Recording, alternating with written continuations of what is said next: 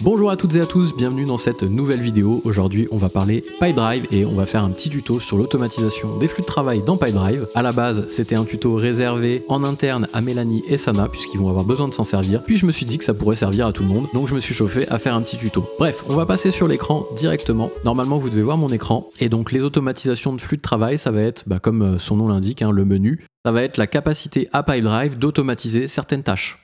Exemple, dans le cas qu'on va créer ensemble, on va se dire quand une nouvelle offre euh, est créée, eh bien je vais créer un workflow automatiquement de tâches, d'actions à réaliser, et je vais voir comment les imbriquer. Donc on est ici.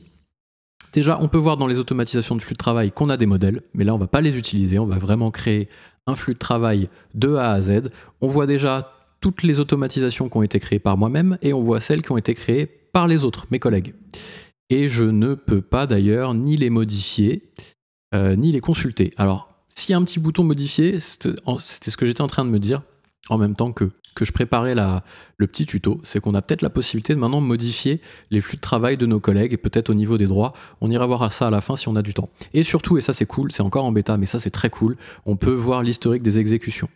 Quand il y a des bugs sur les API, ça arrive hein, dans PyDrive, il y a des bugs, l'API plante, on ne sait pas ce qui a été exécuté ou non. Donc là, on va pouvoir consulter euh, les flux de travail de tous les utilisateurs et voir ceux qui ont fonctionné et ceux qui n'ont pas fonctionné. Bref, ça c'était le petit topo. On va se remettre dans créer par mois et on va ajouter un nouveau flux de travail personnalisé en haut à droite. Hop. J'espère que la webcam ne me cache pas. Non. Alors là, on va faire workflow, suite, création, deal. Je vous invite à être hyper précis au niveau du nom et de la description parce que c'est pour le moment pas encore sûr, mais c'est pour le moment uniquement ce que voient vos collègues euh, de votre flux de travail. Donc soyez précis. Quand un deal est créé, euh, on crée automatiquement, etc. etc. C'est un exemple. Les tâches, et vous nommez les tâches. Vous avez vu, vous avez pas mal de caractères pour vraiment décrire ce que vous faites. Le mieux, c'est carrément de décrire ça dans un autre outil qui est la base de connaissances internes de votre entreprise. Nous, on utilise Slide pour ça, utilisez Notion, utilisez ce que vous voulez mais à la limite, vous documentez ça ailleurs, vous faites un screenshot, comme ça vous êtes tranquille. Et on va faire commencer. On va voir comment euh, va se, découper le module automatisation. Le module automatisation, en fait, il vous demande toujours de commencer par un déclencheur. Un déclencheur, c'est quoi? De toute façon, vous n'avez pas trop le choix. Le déclencheur, c'est qu'est-ce qui va déclencher les actions que je veux automatiser? Est-ce que c'est la création d'une affaire? Est-ce que c'est euh, euh, le fait de cocher une activité comme terminée. Voilà, en, tout cas, vous allez euh, le trigger, le déclencheur, sélectionner quel est le déclencheur. Nous, dans notre cas, on va l'utiliser là, beaucoup Mélanie et Sana pour Calliope chez BLC, hein, pour pouvoir automatiquement créer le workflow de tâches qu'on a euh, quand une nouvelle affaire est créée dans le pipeline Calliope. Donc là, en fait, on va choisir le déclencheur. Donc là, pour nous, ça va être le déclencheur quand une affaire est créée. et j'applique le déclencheur. Et je vais pouvoir mettre des conditions. Là, ici, je ne veux pas appliquer euh, ce workflow à toutes les affaires qui sont créées. On a dit, nous, dans notre exemple, que c'était uniquement les affaires qui étaient créées dans un certain pipeline. Donc là, je vais pouvoir dire affaire créée dans le pipeline qui est, donc là, je ne vais pas avoir Calliope, mais on imagine opération. Et donc là, je vais ajouter des conditions et je vais appliquer ces conditions-là. Donc là, si je retourne dessus, j'ai quand une affaire est créée et qu'elle est créée dans le pipeline opération, qu'est-ce que je vais automatiser? Qu'est-ce qui va se passer? Et c'est là où on va créer justement tout le workflow, tout le scénario. Donc quand une affaire est créée dans le pipeline opération, qu'est-ce que je fais? Eh bien, je vais commencer à... Je peux rajouter d'autres conditions, hein, bien sûr. Je peux mettre un petit délai, ça c'est pas mal. Un petit délai, c'est euh, euh, finalement attendre avant d'exécuter euh, les automatisations. Ça peut être pratique dans pas mal de cas. Là, on peut mettre un petit délai de 5 minutes pour être sûr, parce que ce qui peut se passer quand l'affaire est créée, c'est qu'elle n'est pas tout de suite créée, en tout cas dans notre cas, dans le pipeline euh, qui va bien, donc Calliope opération, elle est d'abord dupliquée, et quand elle est dupliquée, elle est, ça veut dire qu'elle est créée en fait dans le même pipeline. Donc c'est pas génial. Mieux vaut mettre un petit délai de 5 minutes, le temps que euh, Mélanie ou Sana ait le temps de basculer l'offre, et quand euh, le, le test va être fait, alors le délai on aurait peut-être pu le mettre là d'ailleurs, quand le test va être fait, ouais, le délai il aurait peut-être fallu qu'il soit ici. Yes, yes, yes. Euh, bon, peu importe. On va le mettre là.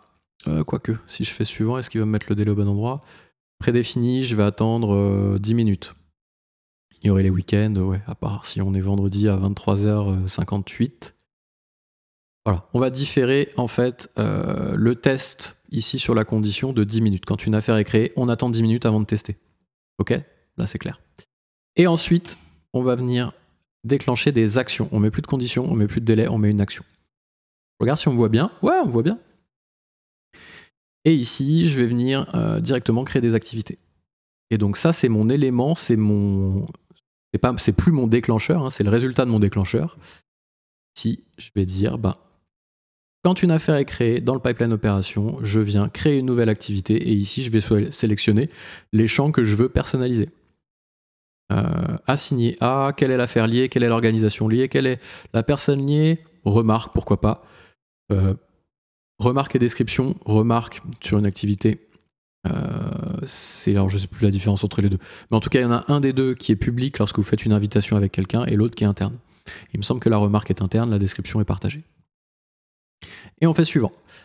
Objet de l'activité. Donc là vous allez mettre par exemple, vous allez pouvoir soit mettre du texte directement à la main, soit aller chercher des variables. Vous pouvez très bien récupérer ici le titre de l'affaire. Ça peut être pas mal.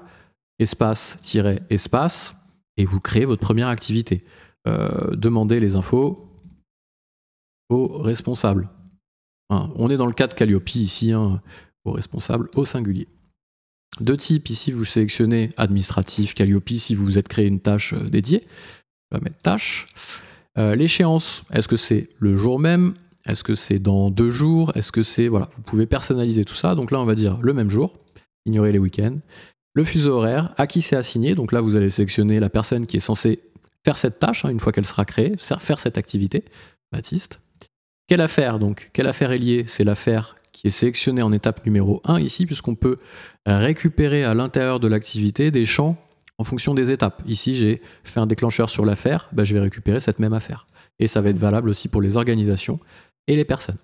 Ma petite remarque, ici, euh, suite à la création d'un suivi Calliope, il faut demander, et vous mettez un peu de contexte, euh, les infos des participants.